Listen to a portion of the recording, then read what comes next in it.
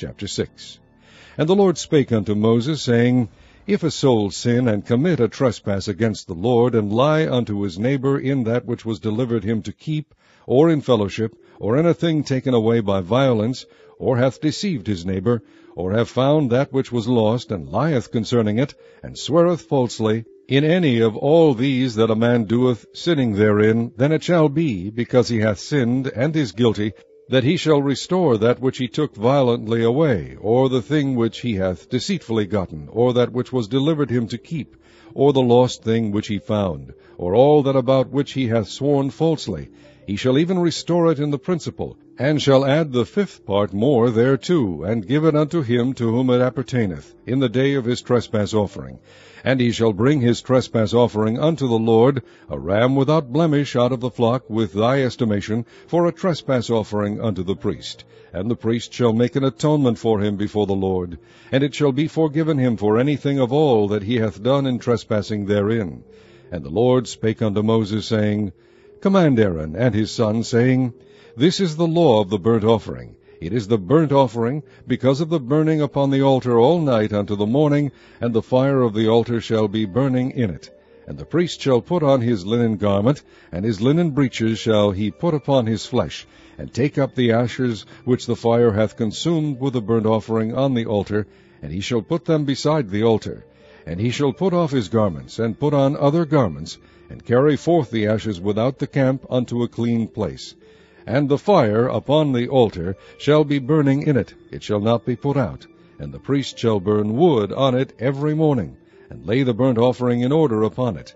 And he shall burn thereon the fat of the peace offerings. The fire shall ever be burning upon the altar, it shall never go out. And this is the law of the meat offering. The sons of Aaron shall offer it before the Lord, before the altar. And he shall take of it his handful of the flour of the meat offering, and of the oil thereof, and all the frankincense which is upon the meat offering, and shall burn it upon the altar for a sweet savour, even the memorial of it unto the Lord.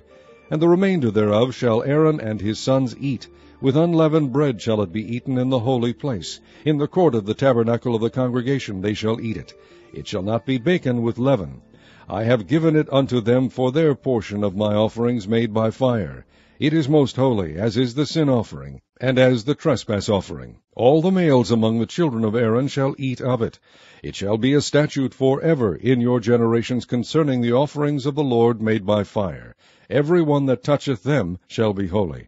And the Lord spake unto Moses, saying, This is the offering of Aaron and his sons, which they shall offer unto the Lord in the day when he is anointed, the tenth part of an ephah of fine flour for a meat offering perpetual half of it in the morning, and half thereof at night. In a pan it shall be made with oil, and when it is baken thou shalt bring it in. And the baken pieces of the meat offering shalt thou offer for a sweet savour unto the Lord. And the priest of his sons that is anointed in his stead shall offer it. It is a statute for ever unto the Lord, it shall be wholly burnt. For every meat offering for the priest shall be wholly burnt, it shall not be eaten.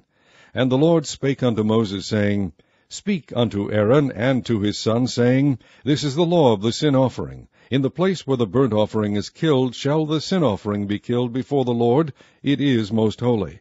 The priest that offered it for sin shall eat it. In the holy place shall it be eaten, in the court of the tabernacle of the congregation. Whatsoever shall touch the flesh thereof shall be holy. And when there is sprinkled of the blood thereof upon any garment, thou shalt wash that whereon it was sprinkled in the holy place. But the earthen vessel wherein it is sodden shall be broken. And if it be sodden in a brazen pot, it shall be both scoured and rinsed in water. All the males among the priests shall eat thereof, it is most holy. And no sin offering whereof any of the blood is brought into the tabernacle of the congregation to reconcile withal in the holy place shall be eaten, it shall be burnt in the fire.